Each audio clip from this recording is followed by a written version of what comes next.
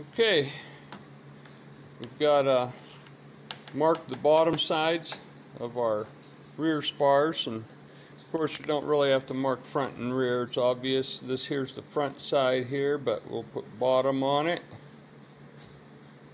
We'll do that in several places. And and then I just cut the uh, well, it's two degrees. It says to match the uh, the main spars, same angle. That's not so critical as uh, there's plenty of gap there between them. Now, the uh, tangent point we're going to use for the holes, uh, the mounting holes on the brackets, that's what's going to set our angle and the height for our, our bracket. That'll make it match the main spar. Yeah, when building up for the strut on this here rear spar, this here needed build up. Once I needed 164th, but the only 164th material I had was narrow, so threw uh, another piece in to cover the last eighth of an inch, and I'll just cut that off with my oscillating saw once it's all dried. And okay, so we've got all the uh, extra little pieces trimmed off. And since we're going to cut the top edge at 15 degrees the, the bottom side is going to be against the fence on the saw. So we're going to go ahead and take the sander and orbital sander there and just run this whole edge make sure there's no glue or anything that's holding it up anywhere. Okay I'm trying to beat thunderstorms here tonight so uh, we're going to cut this 15 degree angle. Yeah, I guess I need uh, something back there too. I'll just move that infeed roller, move it back quite a bit. There we go. Now we uh, now we have to uh, adjust the saw blade relative to the top corner of this this is, by the way, this is the top. You have to make sure you're cutting the top edge. And uh, we want it to be just shy of this top corner right there. So first we'll set 15 degrees.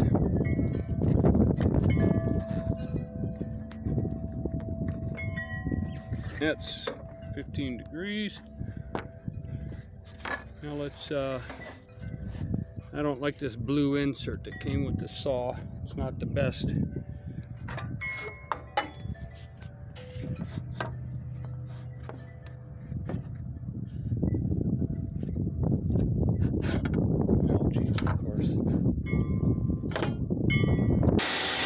now I'm gonna run this through, although I know it's a little bit big. I'm gonna go in and get the one rib that I have the smallest smallest opening and they're all within about 15 thousandths of each other. But I'm going to get it, make sure it slides on here, and, uh, and then cut them both to that size.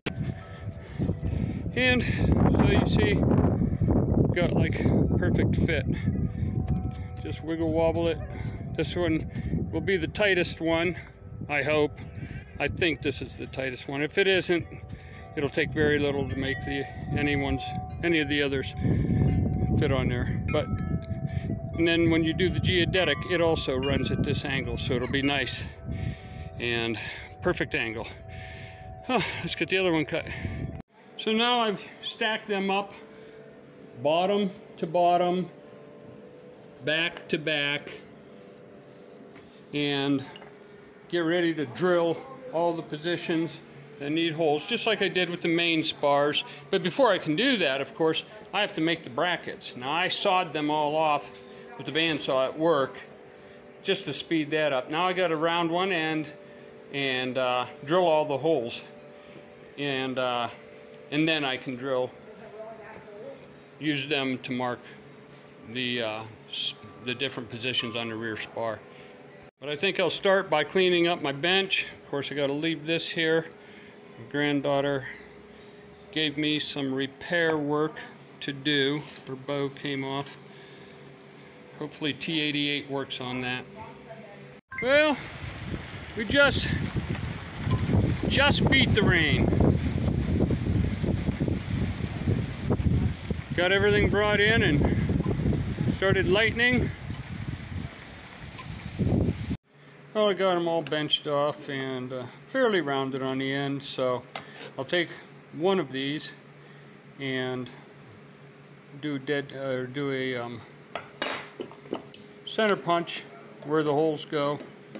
And then I'll stack them all up and clamp them together and then go ahead and drill down through them. And then I'll pull one of them off and link up that hole with the 96 and a half inch by one inch off of here. Line that up right there and then I'll mark these holes where it gets attached back here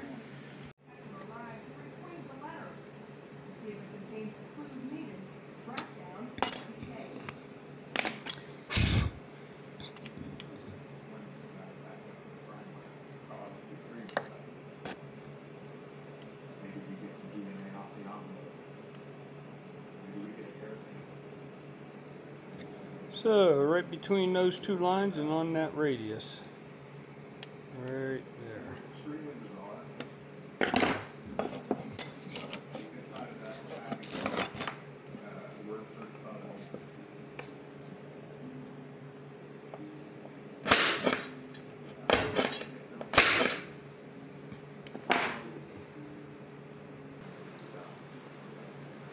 And then five more inches.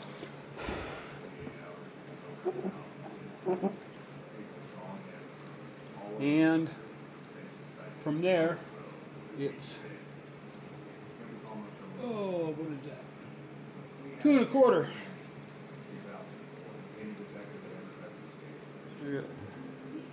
Two and a quarter from there.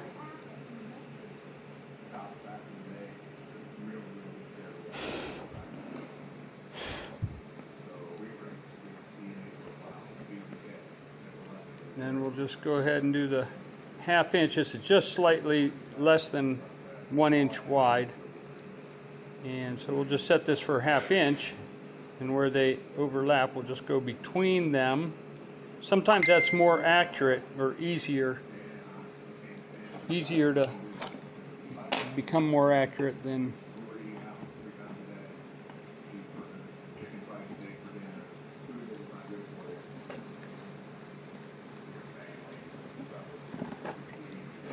So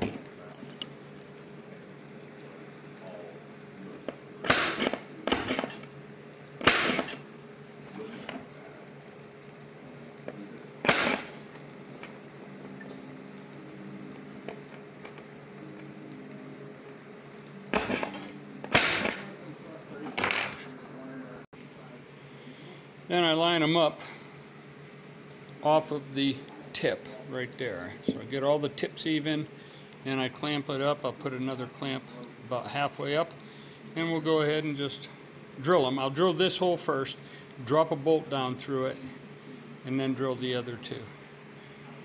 So let's go ahead and start with the root and uh, whereas the whereas the main spar was four inches up from the bottom and an inch and a half over from this straight vertical line uh, the rear spar is two inches out and an inch and a quarter up from the bottom of the spar.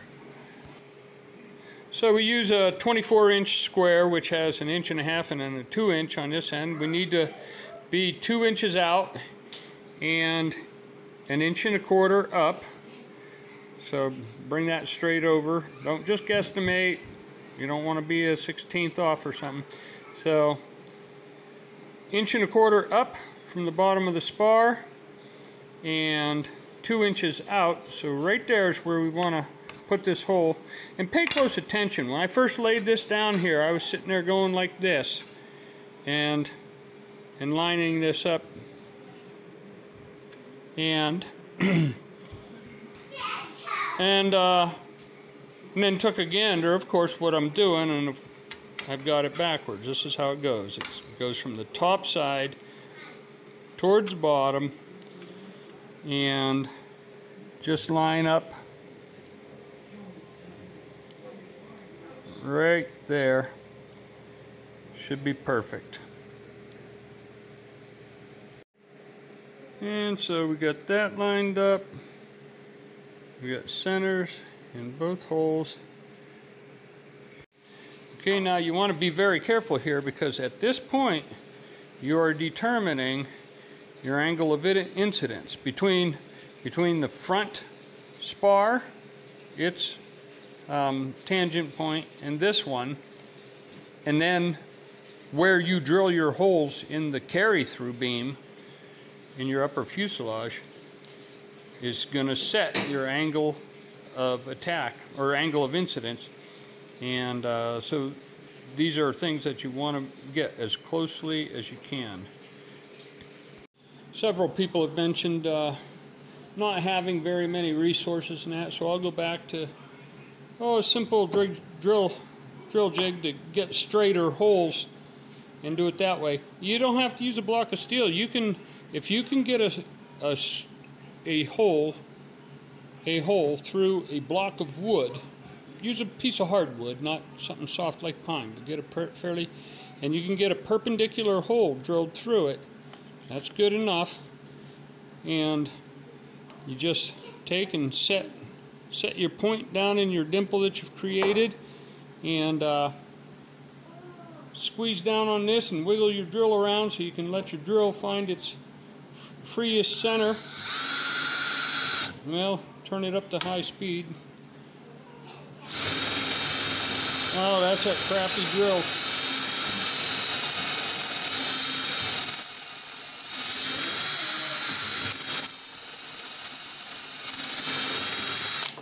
Okay, we should have it deep enough now that we can just follow the hole.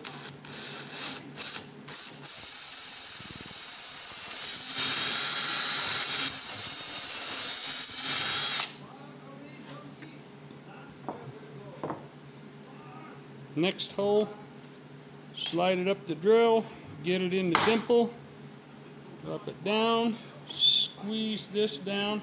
If you got the capability, go ahead and clamp this down, your drill, drill jig.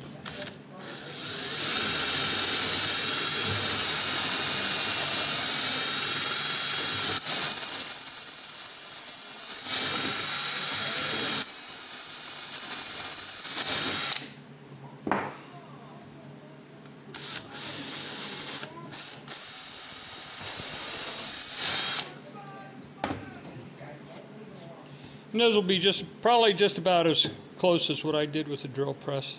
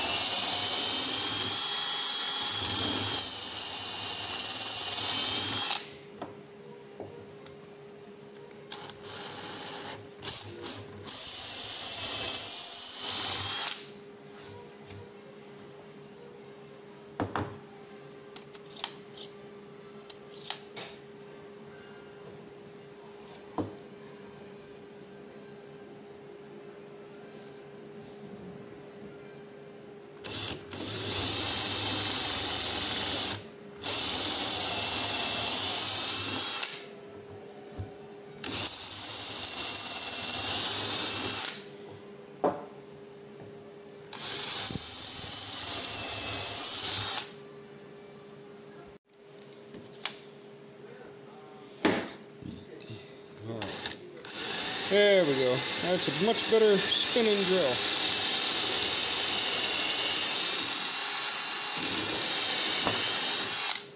Oop, I forgot we got space. Or no, that's all the way through both of them. There we go. Yeah, they're clamped together, but there's a space underneath them.